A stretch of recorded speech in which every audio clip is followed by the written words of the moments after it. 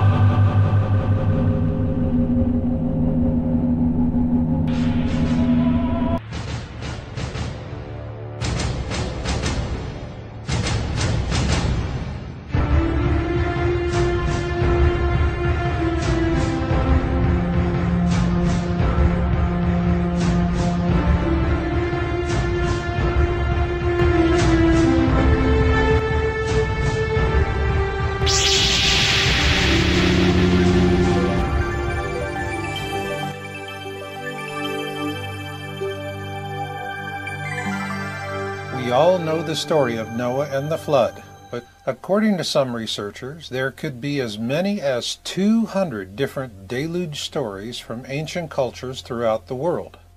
So this begs the obvious question.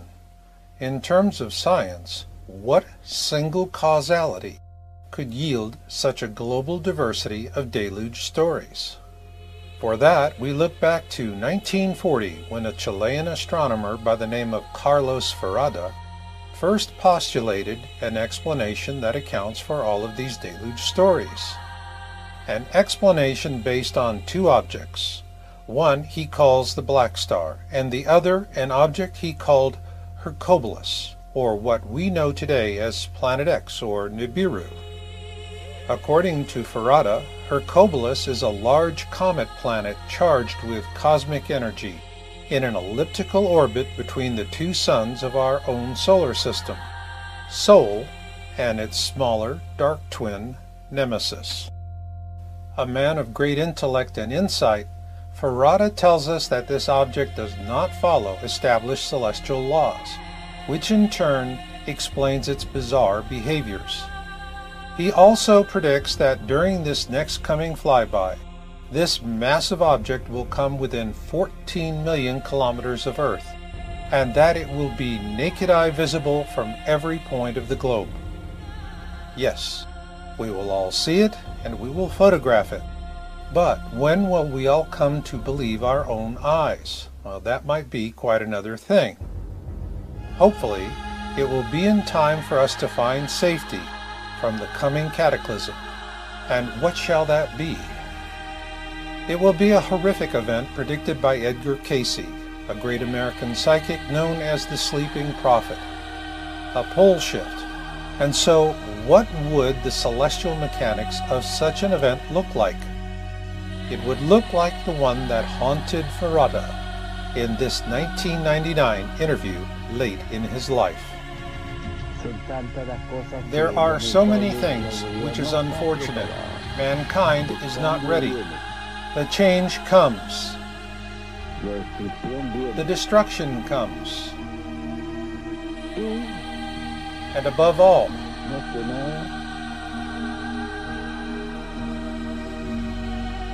will affect humanity in its existence, in its production, and in its own substance. As our research team watched Ferrada in this interview, what tore at our hearts were not his words, but rather the obvious pain of awareness etched on his face. We know that pain all too well, for it is an echo of our own and the knowing of a horrific cataclysm to come and that which causes it. And so we call it the Ferrada Cayce pole shift. And it will happen when these massive objects pass close enough to gain a lithosphere lock on the Earth, thereby pulling the skin of our planet around. This will cause the pole shift predicted by Edgar Cayce over 90 years ago. Carlos Ferrada first began talking about Hercobulus, or what we call Planet X Nibiru, in 1940. And through all those decades of talking to audiences and giving TV interviews, in the back of his mind, you know he was seeing the celestial mechanics of the coming global cataclysm we're going to experience. And, you know, it makes you wonder how did he see it in his mind? Well, what we're going to try and attempt in this program is to convey a sense of that to you as we explore that coming pole shift. In this program, we're going to take you into the future to show you a cataclysm that means, well, frankly, the end of life as we know it. But it will not be the end of us. Rather, humanity has a long journey ahead of it and this is just going to be one waypoint along the path. But as with all journeys, they do have a beginning, and that beginning for us is that first dawn of awareness about what is to come. And for that, we go to the past. In the first program in the Planet X 101 series, Who, What, When, Where, Why, and How, we explained how the search for Planet X first began in 1781. However, the chronological starting point for our journey today is much closer to our own time. In 1940, a Chilean astronomer by the name of Carlos Muñoz Ferrada first began talking about an object he called Hercobulus, or what we know today as Planet X or Nibiru. But he also talked about not one, but two objects. Hercobulus is the same planet Zecharia Sitchin, author of The Twelfth Planet, describes as Nibiru, according to his translations of the ancient Sumerian texts. And according to Sitchin, it is four times the size of Earth. But of even greater concern to us is the Black Sun, as Ferrada calls it. A binary twin to our own Sun that is 56 times the size of Earth. And it is the core object of a mini constellation we call the Planet X system which in turn orbits around our own sun, much like a comet would. Therefore, Ferrada is the pivotal figure in this program because he was the first professional astronomer to talk about the Planet X system, as we call it, back in 1940. The small sun he referred to as the Black Sun is actually a brown dwarf star known to present day astronomers as Nemesis. Brown dwarfs are small protostars that lack the mass to sustain hydrogen fusion like Sol. Consequently, they are very dark stars and extremely difficult to find. It is why they're also referred to as failed stars. In fact, the existence of brown dwarf stars wasn't theorized until the 1960s, and back then, they were initially called black dwarfs. Consequently, it wasn't until 1988 before the first brown dwarf was discovered. And as of 2012, over 1,800 of these brown dwarf stars have been discovered. We know them today as brown dwarfs thanks to American astronomer Jill Tarter, who first coined the term in 1975. It's interesting to note that the protagonist, Ellie Arroway, played by Jodie Foster, was based on Tarter's astronomical work. The modern hunt for Planet X began with the deep space probes Pioneer 10 launched in 1972 and Pioneer 11 launched in 1973. These missions established the existence of something of substantial mass because it had significantly altered the trajectories of both probes. In 1983, the Infrared Astronomical Satellite, IRAS, was launched to image that mass. According to NASA, IRAS failed before the mission could be completed. However, several government whistleblowers have since come forward to say IRAS had in fact imaged Planet X. It is also important to know that the disclosures of these whistleblowers are consistent with the news accounts of that time. Most notable was a New York Times article published on January 30, 1983, which states More credence was given to the hypothesis that a brown dwarf accounts for the mysterious force. Moreover, a brown dwarf in the neighborhood might not reflect enough light to be seen far away, said Dr. John Anderson of the Jet Propulsion Laboratory in Pasadena, California. Keep that name in mind as we move forward to 1988.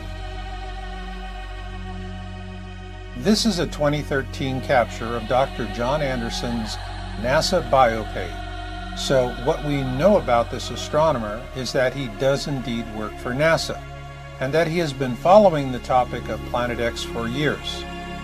Frankly, he's in a league of his own as the last of the honest NASA astronomers to come forward on this topic.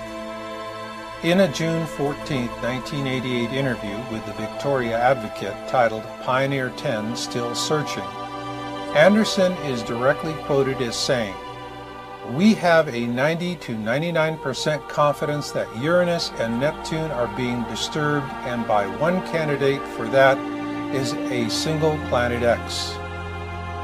Sourced from the Google News Service, YowUSA.com first published this Victoria Advocate interview with Dr. Anderson on March 18, 2012, in an article titled The Planet X Cover Up in the Mainstream Media.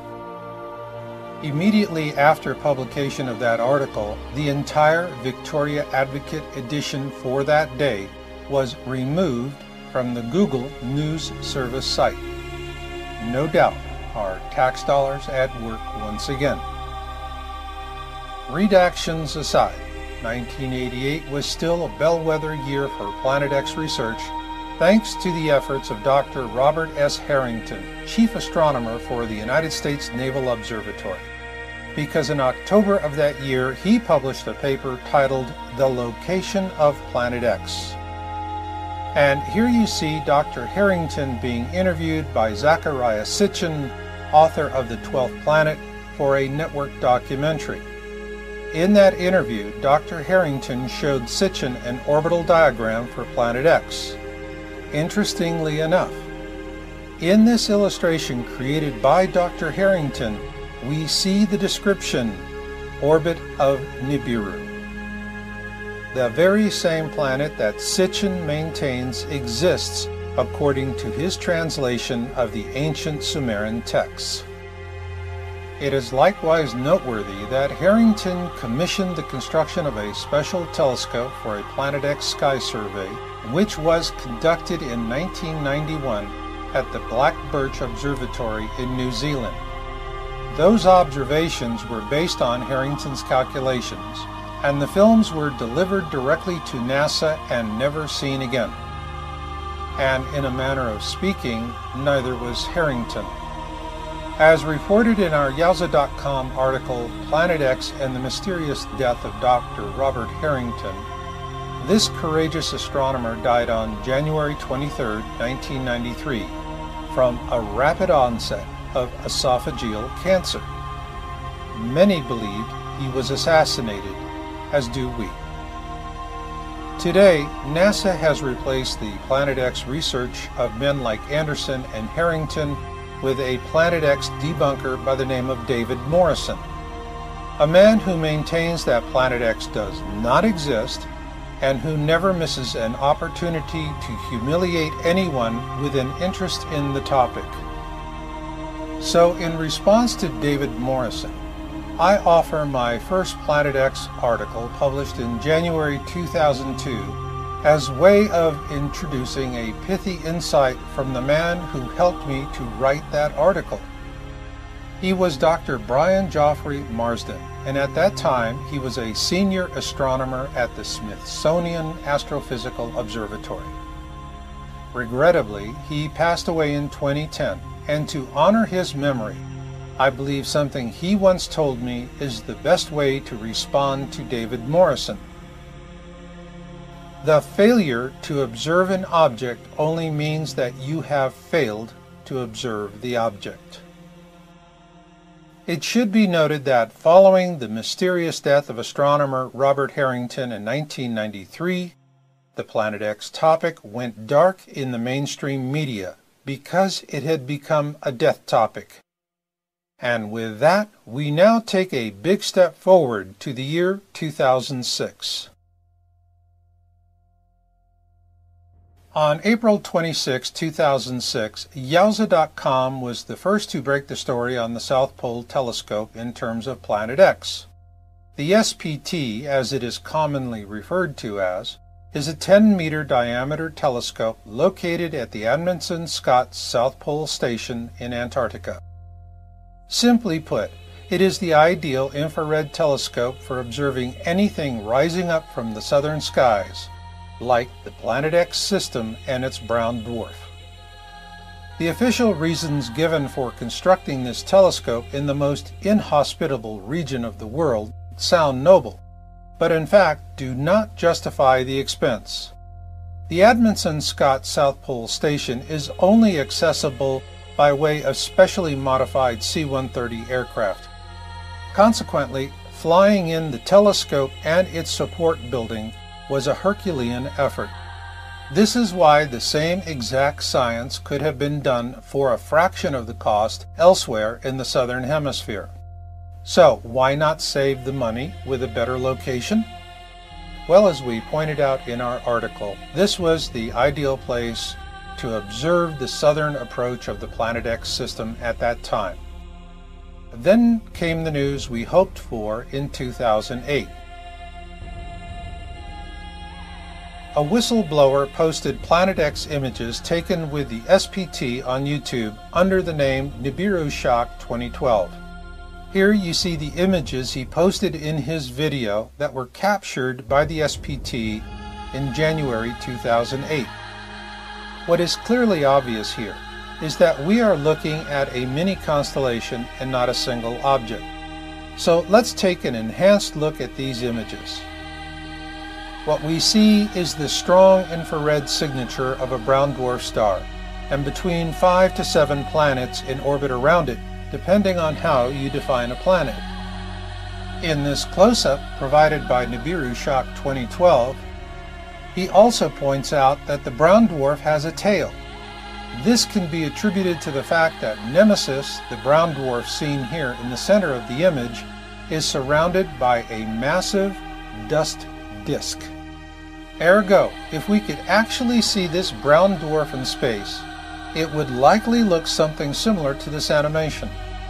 The problem this presents for us here on Earth is that at some point in the future we will pass through this dust disk, if we're not already doing so. In addition to the January 2008 images provided by Nibiru Shock 2012, a second whistleblower came forward in May of that year with another SPT image. This second whistleblower named his SPT source in the video, and the government removed it within hours after it was up.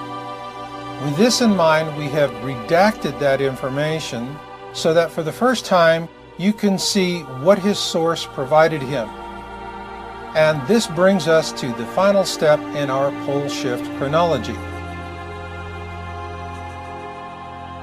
On February 11, 2013, we published our YouTube video titled Object of Interest as Seen from the Turrialba Volcano. Using surveillance camera images captured from the Turrialba volcano, we began ongoing observations of an object I initially dubbed Bluebonnet on January 7th of that year. The site for this surveillance camera is on the 10th parallel and at an altitude of approximately 11,000 feet with a clear view to the southwest.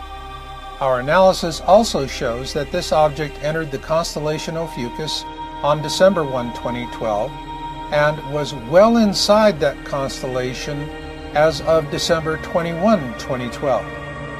This means that the prophecy of Nostradamus for this object was in fact fulfilled exactly as predicted.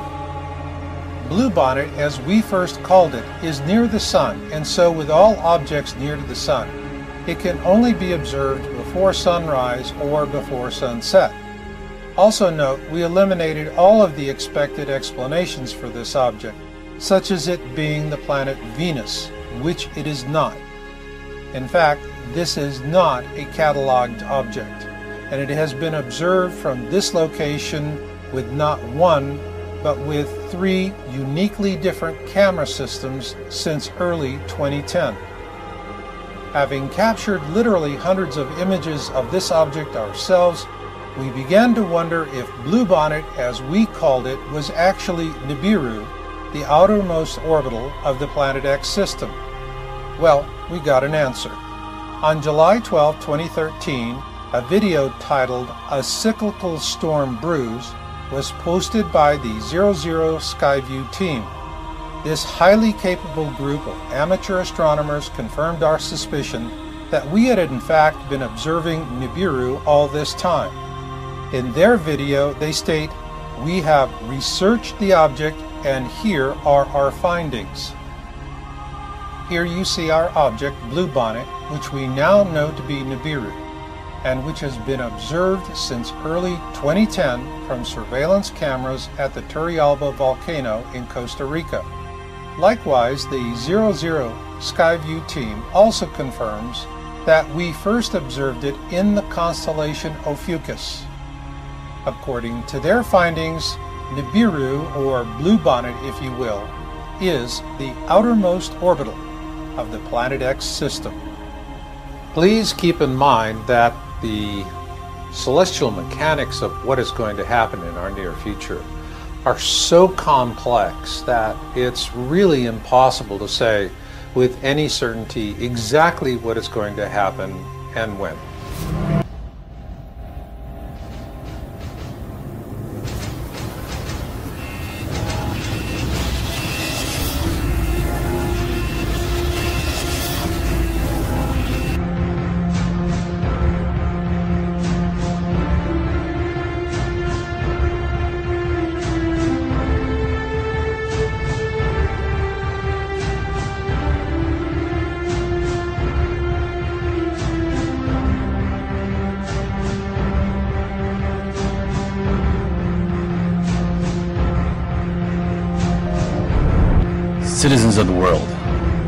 Before you to bring you news that will be very hard to comprehend.